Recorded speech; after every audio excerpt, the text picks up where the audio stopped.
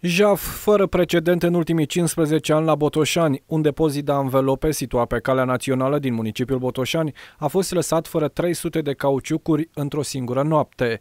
Hoții, cel mai probabil, au folosit o mașină de mare tonaj și au încărcat cauciucurile, se presupune sustrase pe intrarea din spate a depozitului.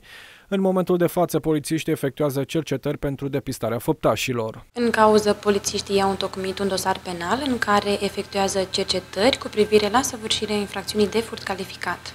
Prejudiciul estimat este mare. Se presupune că hoții au dat un tun de câteva zeci de mii de lei.